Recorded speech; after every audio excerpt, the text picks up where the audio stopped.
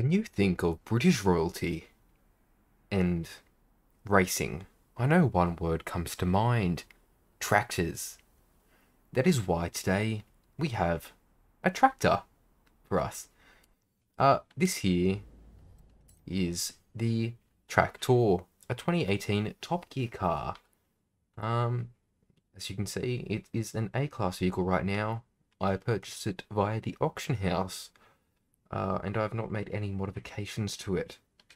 As such, what we will be doing today is attempting the Goliath event in the tractor. Uh, because, you know, why not? And uh, just straight away, you can see right here, it is not the slowest vehicle, uh, but also not the fastest. Uh, something to note is that at the beginning of the Goliath event, there are a lot of sharp, you know, windy turns. And as a tractor, um, actually, it's a surprisingly good turning range. Uh, so enough babbling, let's get on to the race. Right, so here we are at the event. And as you can see, um, our competition does not consist of tractors. In fact, they more so appear to be uh, more traditional road vehicles rather than uh, farming equipment. Now, luckily for us, the game does like to be nice and make all the rest of the cars uh, within a range that we can actually have a competition in. Uh, but because we are a relatively powerful vehicle, um, the stupid car right there gets stuck in front of us and it doesn't allow us to make the start off to the race that we could have, and that also doesn't help but we do hold back. Uh, 11th and 12th place, if just for a moment. Luckily for us, our acceleration does appear to be faster, and we can make our merry way. I hate this initial drive, um, because it's very small, and when you, you're in a race, you sort of just want to get up and get going as fast as you can. There's not a lot of space for movement, uh, and it really, you know, restricts the potential you could of a lead, I suppose you can have, because it's very small, sharp movements that don't allow for great amounts of variety in skill. You know, it's sort of just turning a lot of corners, and whoever has the best acceleration wins, which isn't really the sort of start you want to this sort of long distance event, because by the time you're in into place, it's sort of hard to get make your way back up to first unless people down the line uh, really make a mistake. And you can really just fault that to me for being in 10th, uh, for doing stupid stuff like this that I am right now.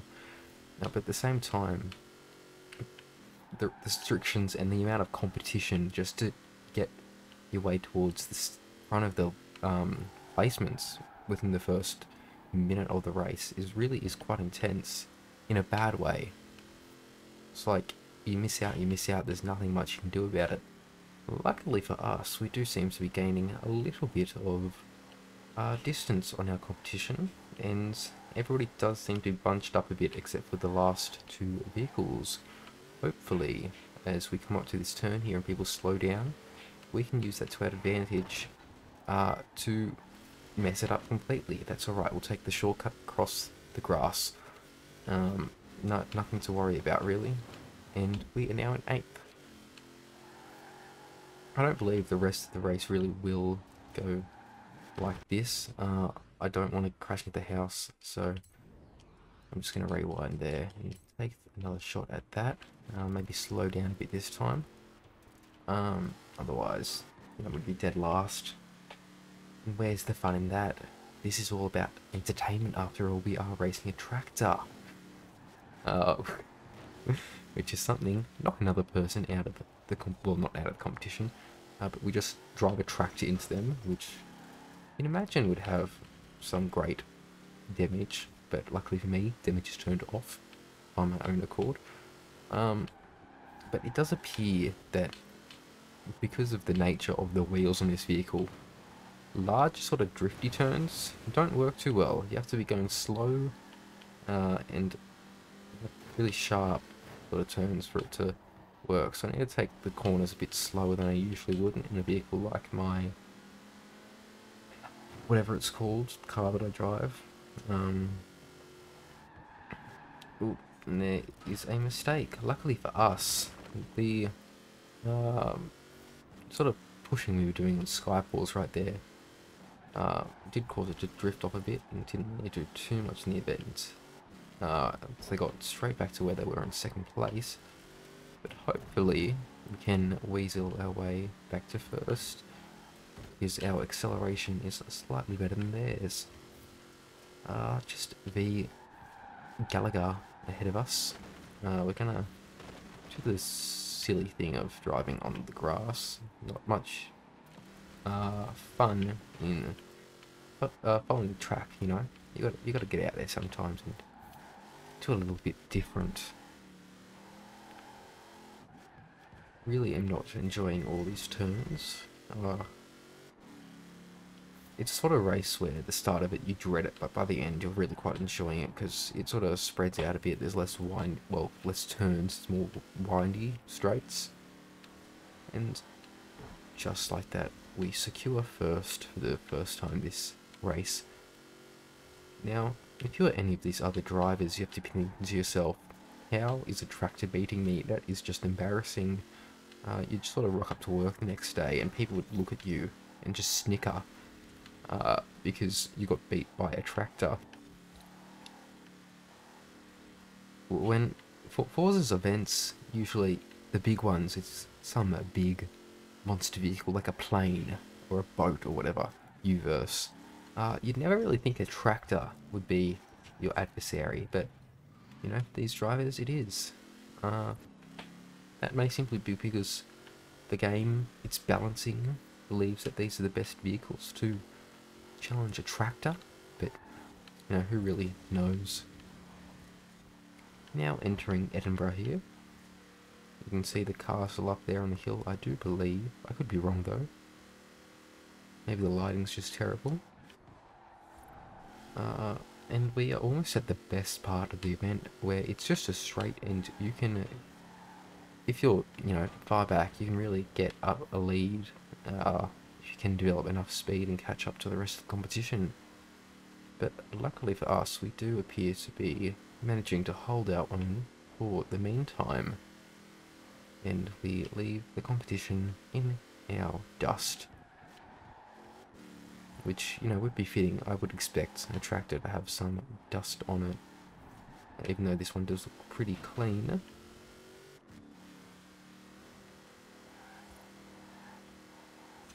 Right, leaving the city now, we hit the beach, the more coastal environment, and we're reminded uh, that winds are apparently high because that wind flag is straight on, just rippling there uh, have that one there showing a different wind speed, well not speed, uh, direction, which is a bit odd. You know, maybe the wind did change.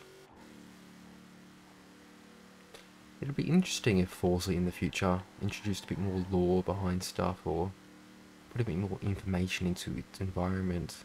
Like that castle there, I have no idea what's going on with it. I'm sure I'd have to actually Google it to find out what you know its origins are or whatever. It'd be nice if just for whatever reason it had a bit of information about it that I could find somewhere within the game.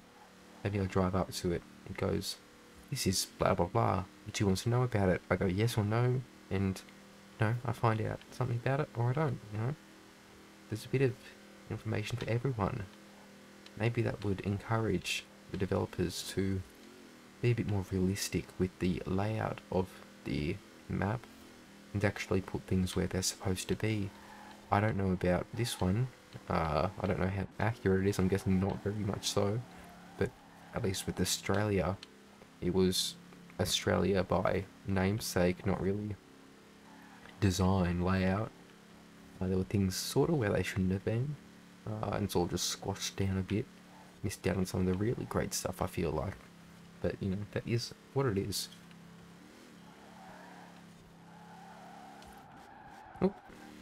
And we go off-road there. It has been a while since we last saw our competition. Oh no, they're right there on the minimap. Uh, so at least we're not getting too much of an advantage over them. Wouldn't want to think that we're demolishing them. I do believe we're coming up to the last section of the race. The race usually only takes between 10 and 15 minutes. So, you know, we don't have too much uh, left for us. And sweet, you can also recognize uh, by the environment that, you know, the houses are starting to appear. we we are entering the same sort of environment that we initially left off at. All in all, I feel as though the tractor has mostly surprised me. It does, you know, sort of fit into its own class as the sort of vehicle that you wouldn't really want to bring on a proper race, simply for the fact that if the race does involve more sort of turns, it's a bit, you know, difficult. However, the sheer size of it, uh, and it acting as an obstacle may be able to help depending on the sort of environment you're racing in. If it, it is a bit more of a smaller turning one, you can just sort of get yourself stuck around the corners uh, and stop the other drivers from really going anywhere. Make yourself known as a thing they have to beat to actually win. Like, in the sense that they need to just get it out of the race completely. It, it's not going to be fun. And I imagine a race consisting solely of tractors wouldn't be ideal, or would be at least an interesting uh, event to watch. Of the chaos might be caused. If the tractor was a lower class, uh, a lower tier, you know, instead of A tier, imagine this would be a different story. I probably wouldn't be enjoying this race as much as it's really weird with slower vehicles sometimes. Even though they are pretty low classes, the range of skill, well, capabilities within them is often odd. Some have really, really high acceleration, uh, which just makes them feel like a truly superior vehicle than others, uh, and the acceleration alone is what allows them to win the races. Uh, while others just seem like, you know, a walking brick. Basically, you know, they don't really get anywhere at any speed. You can see on the minimap now, uh, as I stop paying attention to where I'm going, uh, that the race is about to come to a close, and we are solidly in first place unless I make a fatal mistake within the next few moments. Uh, competition is slightly behind us, but there's not really much they can do at this point to win. And with that being said, we now drift into the finish line and take our throne as the Kings of the Goliath using a tractor. 9 second lead over the next vehicle. Pretty cool to think about. Before we finish, I just want to take the tractor to the festival and see if there are any really quite nice designs for it, uh, rather than orange. Um, hopefully these are all tractor ones. Yes, they are. Well, we got a John Deere tractor. A few it does appear. Uh, we got two uh, anime girl ones just because we have a cat one. It's fun. Um, and some camo, some other nice one. Hemp protein. Uh-huh. Uh, I do believe the John Deere one just down the bottom here. I, I do like that quite a bit. Uh, actually, I think that that's probably the coolest, the hemp one. Uh, it's not the cleanest, but it does sort of stand out a bit. So we will go and apply that just for the sake of it. But there we are. Here is the tractor all its glory with Mr. Hemp right there. Right, thank you all for watching. If you did enjoy the video, hit like, subscribe, go watch something else. Maybe it's mine, maybe it's not. I don't really mind. Thank you, and have a nice day. Goodbye.